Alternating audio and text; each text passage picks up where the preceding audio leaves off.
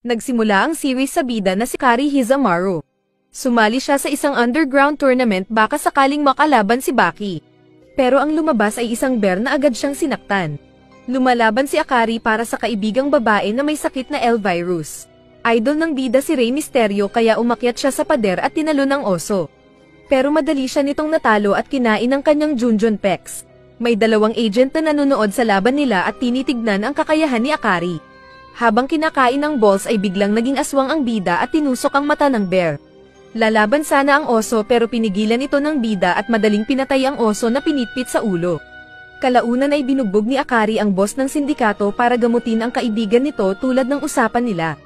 Pero binenta pala ito ng mafia sa dalawang agent na sina Shokichi at Michelle. Sinubukan daw ng mga ito na gamutin ang kaibigan ng bida pero nasa final stage ito ng virus kaya namatay. Naiyak ang bida kaya niyakap siya ni Shokichi. At kalaunan ay nagpakilala ang dalawa at sinabi ang dahilan ng pagkakaroon ng virus. Ito ay galing sa Mars at kailangan nila ng tulong ng bida para mapigilan ang pagdami ng virus. Kaya sumama ang bida sa HQ ng dalawang agent na explorer ng kalawakan.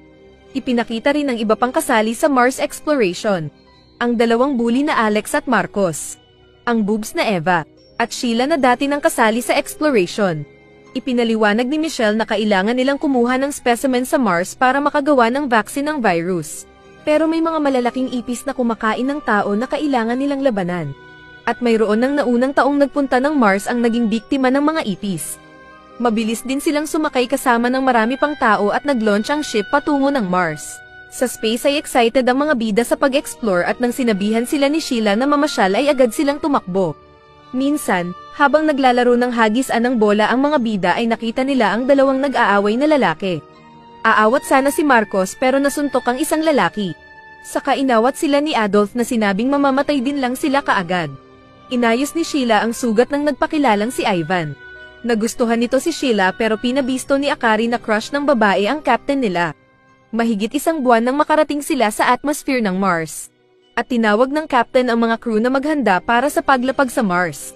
At dahil dito ay nabuhay ang takot ni Eva. Nakita ni Kamachi ang mga nasirang security camera kaya agad na inutusan si Michelle na tignan ito. Samantala ay nagpunta ang mga lokong bida sa shower para tignan ang isang babaeng pumasok na matagal lumabas. Nakita nila ito at nahiya sila. Pero pagbukas ng pinto ay kinain na pala ito ng malaking ipis. Mabilis na nakailag si Akari sa paghampas ng ipis. At inutusan si Marcos na agad magpunta ng kinalalagyan ng pampalakas nilang serum. Biglang dumating si Michelle at inutusan naman si Akari na puntahan ang iba dahil posibleng mayroon pang ibang ipis. At pinakita nga ang isang lalaking tinanggal ang kamay at pinitpit ng ipis. Sa ibang banda ay pinisat ng isa pa ang ulo ng isang extra. Matapang na umatake ang lalaking basagulero sa kamag-anak ni Piccolo at pinagbabaril ito ng machine gun. Inutusan niya ang iba na tumakas pero nilapitan siya ng ipis at tinanggal ang ulo kasama ng spinal cord. Saka ginamit itong latigo ng ipis at pinagpupugot ang mga naroon. Samantala ay nakita ni Akari at Marcos na sinisira ng mga ipis ang kanilang pampalakas na serum. Nag-report na nagalit si Kamachi sa boss nila dahil mayroon daw kumokontrol sa mga ipis na umatake sa outer space na hindi normal na pinupuntahan ng mga ipis. Saka mabilis nitong pinuntahan sina Akari at Marcos at sinabing magpunta ang mga ito sa escape pods. Saka din siya nagutos sa iba ng abandoned ship at kita-kita sila sa Mars. Nilalapitan ng isang ipis ang natatakot na si Eve nang dumating si Joseph at tinulungan siya. Saka biglang kumanta ng all by myself ang ipis kaya dumating ang mas madami pang halimaw na lumilipad din sa ere. Kalaunan ay pinagpapatay ng mga malalakas na leaders ang nakapasok na ipis sa kanilang ship. Hindi pinakita kung paano nila tinalo ang mga ipis pero sila ang anim na special weapon ng mga tao. Agad nag-briefing si Kamachi sa mga kasama at naghiwa-hiwalay sila sa pagpunta ng Mars. At maging ang mga bida ay naghiwa-hiwalay din sa kadaw sila magkikita sa planeta. Sa pinuntahan ng grupo ni Michelle ay ligtas silang nakababa dahil walang ipis. Nabighani daw ang mga bida sa terrain pero pinagalitan sila ni Michelle na sinabing maraming halimaw doon. Ayos din ang escape pod ni Nakamachi kasama ni Sheila at Marcos. Pero nakita ng captain na kakaunti lang ang serum nila. Samantala ay isang escape pod ang nahuli ng lumipad na net kaya bumagsak ito. Saka mabilis na pinaligiran ng mga malalaking ipis para kainin ang mga tao. Namamasyal naman ang grupo ni Sylvester kasama si Elena at inakala nilang ayos na kaya sila bumaba. Nakita nila ang isang pyramid doon pero isa sa kanila ang biglang natanggalan ng ulo ng ipis. Niligtas ni Sylvester si Elena ngunit naputol ang kamay niya. Sinabi ni Sylvester na hulihin nila ang ipis gamit ang net. Kumuha si Elena ng baril pang ipis. Kaya agad siyang inatake ng ipis. Pero hindi nila inasahan na tinanggal ng ipis ang ulo ng babae. Samantala ay sinabihan ni Kamachi na may 40 days sila bago dumating ang extraction nila. At dalawa lang ang misyon nila. Kumuha ng research sample na isang daang buhay na ipis, at mag-survive. Ngunit di nila inasahan na may ipis na nakatago sa kanilang sasakyan. Sinubukan sila nitong pasukin pero mabilis na pinatakbo ni Kamachi ang ship kaya ito nahulog. Tinawag niya sina Marcos at isang extra para labanan ng ipis at lumabas sila na may serum. Kunwari lumapit ang ipis pero agad ding tumakbo. May dumating palang isa pang ipis sa likod at pinasok nito ang ship na dumaan sa bintana. Ngunit hindi nito nakita si Sheila na tinutukan siya ng baril at nahuli gamit ang net. Mabilis na dumating si Nakamachi at Marcos at dadalhin sana ang ipis sa kulungan pero bigla itong nang tutok ng baril sa kamay. Nabutas ang dibdib ni Sheila kaya agad itong namatay sa piling ng crush. Agad na hinampas ni Marcos ang ipis. Nalaman nilang nag-evolve din pala ang ipis dahil ang kapangyarihan nito ay dating kapangyarihan ng mga naunang tao noon na lumaban sa mga ipis. Maging sa kinaroroonan ni na Sylvester ay nag-evolve din ang nakalaban ni Elena kaya siya namatay. Pinigilan ni Sylvester si Ivan na umatake sa kahumingi ng paumanhin sa pagkamatay ni Elena. Sa isang bar sa mundo ay isang Japanese agent ang pinuntahan ng isang doktor para iligpit dahil sa pagkakalat nito ng technology na nalaman nila sa Mars. Napagtanto ng mga bida na yung outdated nilang technology para labanan ang mga ipis 20 years ago ay ginagamit na ng mga ipis. Ngunit hindi sila nagpatinag dahil mas advanced din ang gamit nila ngayon. Dahil hindi na lang insect power ang pwedeng magamit ng mga tao kundi maging ng mga hayop. Pero malakas pa rin ang mga ipis dahil nang lilipad ang isang babaeng ibon ay nahuli ito ng ipis at hinawakan sa paa. Dahil sila yung master ni Baki na nagturo ng bilis. Nagsitakbuhan ng mga ipis para umatake pero mabilis silang sinalubong ni Marcos para pagpapatayin. Ang power nito ay Huntsman Spider na hamak na mas mabilis sa ipis. In uppercut nito ang boss ipis. Saka pinagkakarne ang iba pang mga ipis doon. Naalala nito noong bata pa lang sila ni Sheila na anak ng kanilang landlord. Kahit loko-loko sila noon ay niligtas din sila ng babae at tinuruan na mag-focus na lang sa sports. Nang lumaki sila kaunti ay kinailangang umalis ng babae. Kaya naiwan ang dalawang Brasco brothers. Naging patapon ulit ang buhay nila at magulo. Kaya naisip nilang mag-enlist para sumali sa Mars exploration. Tapos eksaktong nagulat sila dahil naroon din si Sheila kaya madali lang silang nakapasok at nazali sa exploration. Mabilis si Marcos at marami siyang napatay na mga ipis kahit nang palibutan siya ng mga ito. Dahil sa galit niya ay atake na lang siya ng atake, hanggang mapagod at muntik patayin ng isang ipis. Pero niligtas siya ni Kamachi na ang kapangyarihan naman ay Hornet. Sinabi nitong kailangan nilang makakuha ng buhay para pag-aralan ang gamot ng virus. Sa kabilang banda ay inatake ng isang ipis si Michelle na ang lakas ay tulad sa isang uri ng langgam. At madali nitong binali ang kamay ng ipis sa kana headbutt. Namana daw ng babae ang power sa ama nitong isang dating kapitan ng naunang exploration. Pinatay niya ang maraming ipis gamit ang lakas. Pero maliban sa lakas ay may kapangyarihan pa itong magpasabog at marami siyang pinasabog na ulo at lumabas yung malagkit sa loob. Samantala ay sinabi ni Akari na siya ang lalaban sa bagong dating na grupo. Ginamit niya ang karate para labanan ang mga bodybuilders na Martians. Ang kapangyarihan naman niya ay malamoth bagworm na may armas na sapot. Kaya nang umatake ang tatlong ipis isa-isa ay agad din niyang nahuli ang mga ito ng buhay gamit ang karate at insect power. Pinatay ni Michelle ang iba pa at kinulong nila sa malaking posporo ang mga ipis. Dahil sa germs ay maliligo sana si Michelle, pero biglang may dumating na katutubong piccolo sa ship. Sa kamay lumabas na ipis sa tubig at hinayla si Michelle. Sinubukan ng babae na mag-drugs pero nahila na siya ng isa pang pangit.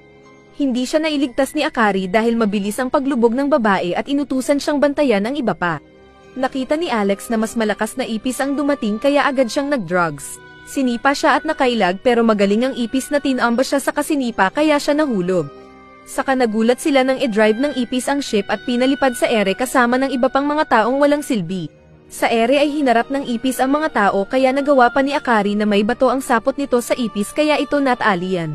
Mabilis din siyang umakyat sa ship at hinarap ang ipis at sinabi sa iba na kailangan nilang tumalon. Ayaw sana ng babae pero na-eject na silang lahat ng bida. Nakita ng bida na paan ng grasshopper ang mutated na ipis. Samantala sa ilalim ng tubig ay napansin ni Michelle na pang tubig ang kalaban nitong ipis. Naalala niya ang nakita niyang crew ng ama na namatay sa Mars dahil sa pakikipaglaban sa mga ipis.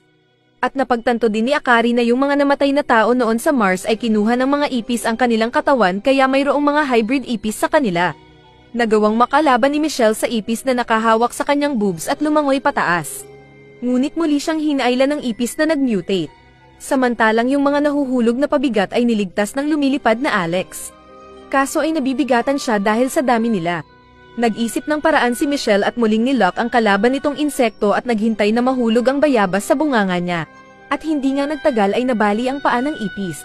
Ngunit nauubusan na ng hangin ang babae. Nailigtas naman ni Alex ang mga kasama at napansin nitong hindi pa lumabas si Michelle sa tubig. Samantala ay nabugbog ng ipis grasshopper si Akari at muling bumalik sa manibela.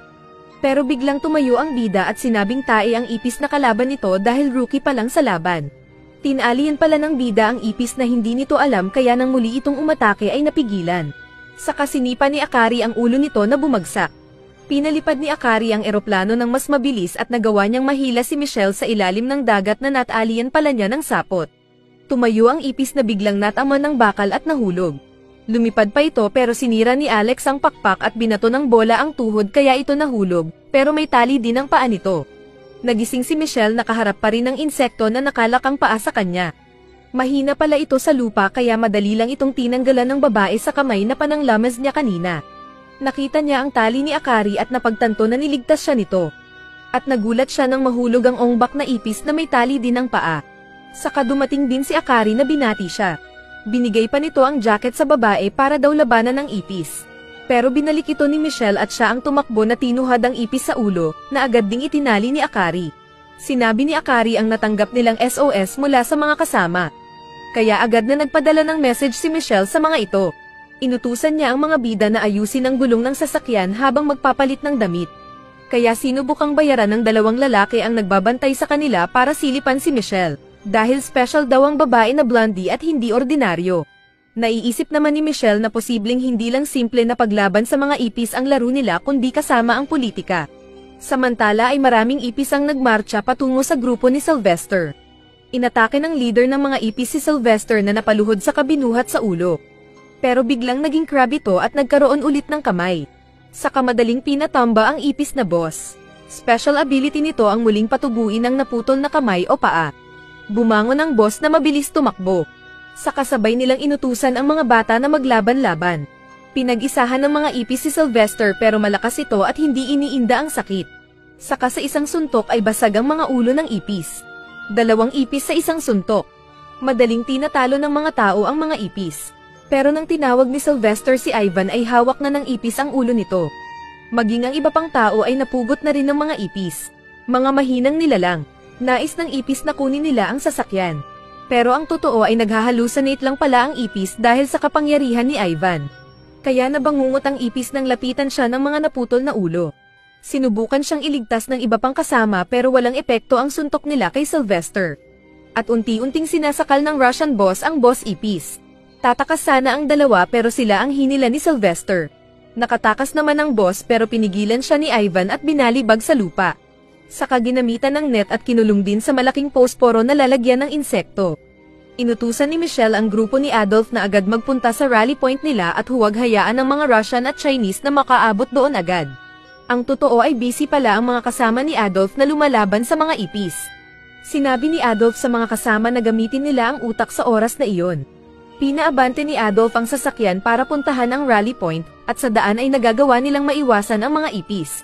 Ngunit bigla silang binangga ng isa pang ship kaya sila nahulog sa butas.